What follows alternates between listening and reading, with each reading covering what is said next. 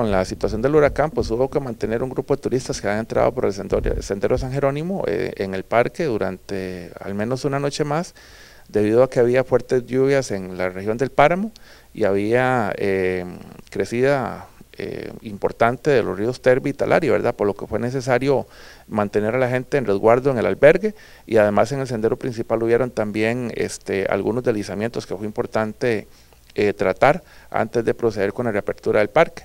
El día eh, domingo nosotros tomamos la decisión de cerrar el parque hasta nuevo aviso, ¿verdad? Considerando que no sabíamos cuál iba a ser el impacto que iba a tener la tormenta en, el parque como tal. Dichosamente ya para el lunes las condiciones amanecieron soleadas, este, tuvimos información de que ya el sendero se encontraba en buenas condiciones, por lo que decidimos eh, de una vez reaperturar el parque para no tener este, efectos negativos en la visitación. Durante esta semana. Durante esta semana. Esto fue lo que sucedió en el Parque Nacional Chirripó esta semana, debido a los fuertes aguaceros que se presentaron por la afectación del huracán Julia. Se tuvo que cerrar el lugar para limpiar los senderos y posteriormente se dio la apertura por esta semana.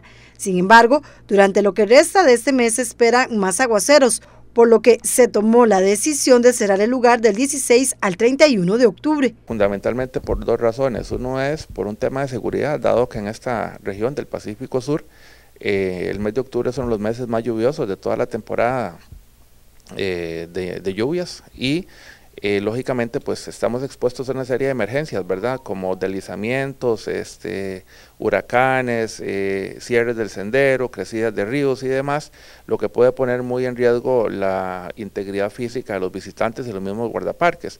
Y también el otro efecto asociado a este tema climático es el impacto negativo que el tránsito de turistas y caballos en el sendero eh, provoca sobre la superficie del, sendero principal, ¿verdad? Entonces, como una medida de manejo preventiva para evitar impactos negativos, se ha tomado esa decisión de ajustar el cierre, pero únicamente a la segunda quincena del mes de octubre, ya que antes se cerraba durante todo el mes. En años pasados siempre se cerraba todo octubre, pero luego darse los servicios no esenciales en concesión, se decidió no hacerlo más, pero se analizará si nuevamente se dan cierres cada mes de octubre. Bueno, probablemente eh, se esté analizando, ¿verdad? Eh, la continuidad de acuerdo a los eh, resultados que se tengan, pero es muy probable que sí se mantenga, ¿verdad? Dado que esto es una condición ya, digamos, analizada y que sea también negociado con el consorcio, ¿verdad? Con el, con el contratista en este momento, que está operando los servicios de actividades no esenciales en base Crestones, y pues es un tema que ya se ha comunicado previamente, ¿verdad?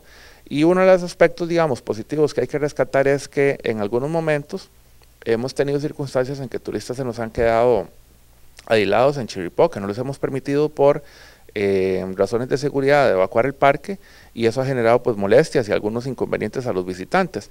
Además de que también cuando hay eventos de emergencia durante el mes de octubre hay que cerrar el parque de manera intempestiva, pues hay que hacer un proceso administrativo de, devolución de fondos a, los, a las personas que ya han pagado por sus reservaciones, situación que genera una carga de trabajo en la parte administrativa muy tediosa y que es este, bastante costosa para la administración.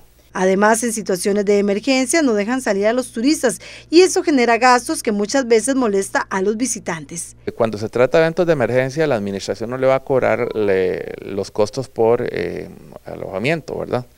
Eh, digamos, perdón, por permanencia en el parque. El tema es que en situaciones de emergencia hay previsiones en el cartel, ¿verdad? Con relación a esos temas.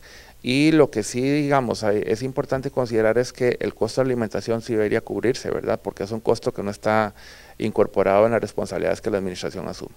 Pero son temas imprevistos y precisamente por esto se toman estas medidas de cierre preventivo para evitar situaciones como esa que afecten la imagen de la administración, que generen cargas administrativas y que también pues generen eh, problemas al visitante. El área de conservación La Amistad Pacífico tomó la decisión de que el Parque Nacional Chirripó estará fuera de operación del 16 al 31 de octubre de este año, por lo que en la próxima apertura de venta de las entradas no se podrá reservar durante estas fechas.